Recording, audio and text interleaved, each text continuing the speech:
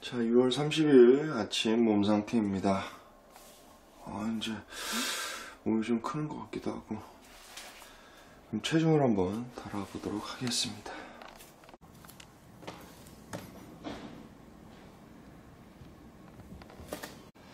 자, 오늘 아침 주스는 마주스입니다. 얼린 바나나, 그리고 마, 견과류, 저지방 우유, 이렇게 해서 만들어 보도록 하겠습니다.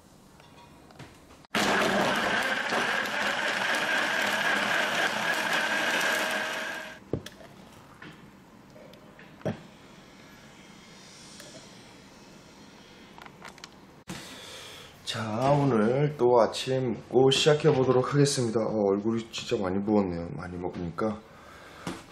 지금 시간 아침 8시 18분이고요. 자, 오늘 아침 간단히 시작해 보도록 하겠습니다. 보여드릴게요.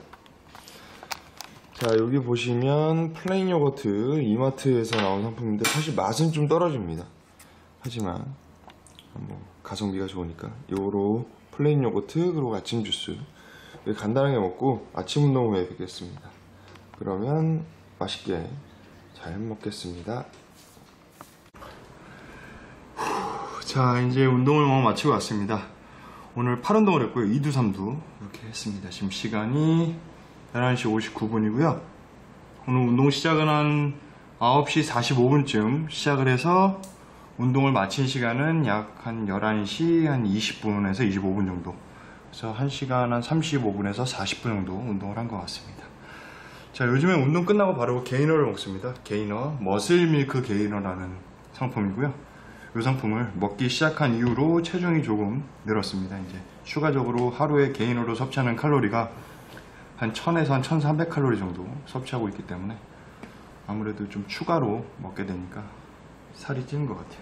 자, 그럼 오늘 두 번째 끼니 게이너 맛있게 잘 먹겠습니다. 자, 게이너 마시고 이제 점심 식사하려고 합니다. 지금 시간은 12시 42분이고요.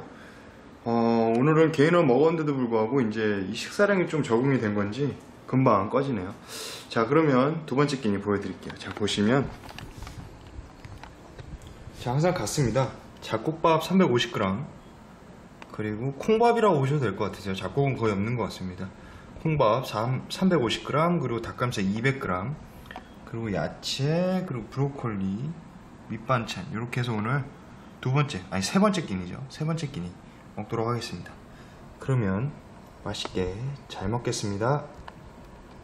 자 이제 네 번째 끼니 먹을 시간입니다. 이제 퇴근해서 막 도착을 했고요. 오늘 좀 늦었네요. 7시입니다. 저녁 7시. 자 그러면 저녁 식사 빨리 보여드리고 빨리 식사하도록 하겠습니다. 자 여기 보시면 잡곡밥 좀 많은데요. 이거 한 300g 조금 넘을 것 같고 닭가슴살 240g 그리고 양배추에 브로콜리 그리고 나머지 이렇게 밑반찬 보시면 될 것 같습니다. 그러면 오늘 네 번째 끼니 저녁 식사 맛있게 잘 먹겠습니다. 자 이제 현재 시간 9시 17분입니다. 오늘 이제 다섯 번째 끼니 보충제 어 식사량이 좀 준 거죠. 결과적으로 보면 이제 저녁에 맨 마지막 끼니 이제 단백질 보충제로만 먹었는데요. 체중은 살짝 이제 뭐 이틀밖에 안 해봤기 때문에 사실 아직 체중의 변화 잘못 느끼겠고요. 가장 중요한 거는 그저께와 아, 어제와 오늘의 그 달랐던 점은 어, 식사하기가 조금 편했다는 거. 음, 요 단 저녁에 이제 탄수화물 줄인 거 딱 한 끼 줄인 거지만 아무래도 속은 좀 편하더라고요. 그래서 오늘도 일단은 하루밖에 안 해봤으니까 오늘도 이렇게 한번 먹어보고 내일 상태를 한번 확인해 보도록 하겠습니다. 그럼 오늘 다섯 번째 마지막 끼니 보충제 맛있게 잘 먹겠습니다. 자, 아까 보여드렸던 단백질 보충제까지 다 먹고 왔습니다. 아까 전에도 제가 말씀드렸다시피 어제 원래 항상 마지막 끼니에 탄수화물을 좀 조금이라도 추가해서 섭취해주고 있- 먹고 있었는데요. 어제부터 제가 어제 하루 이제 저녁에 단백질 보충제만 먹고 오늘 하루 이렇게 있어 봤는데 확실히 어제보다는 오늘이 속이 편해서 어, 점심인 그러니까 두 번째, 세 번째, 네 번째 끼니에 탄수화물을 조금 섭취할 때 어, 좀 편안한 걸 느꼈습니다. 그래서 혹시 뭐 하루밖에 안 됐으니까 그것 때문인지는 몰라서 오늘까지 한번 그렇게 해보겠습니다. 이제 한 요번 주 내내 저녁 마지막 끼니를 탄수화물을 빼고 단백질 보충제로만 그렇게 일단 채워보고 어, 제 몸 상태를 한번 체크를 해보겠습니다. 뭐 아니면 다시 탄수화물 채우면 되니까요.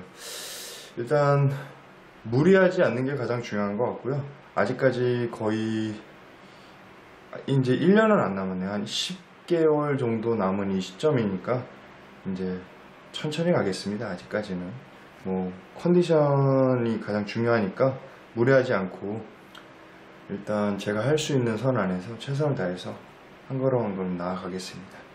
뭐 운동 이제 시작하시려는 분들이라든지 아니면 계속 하고 계신 분들 모든 모든 분들이 다 힘들 거라고 생각이 듭니다.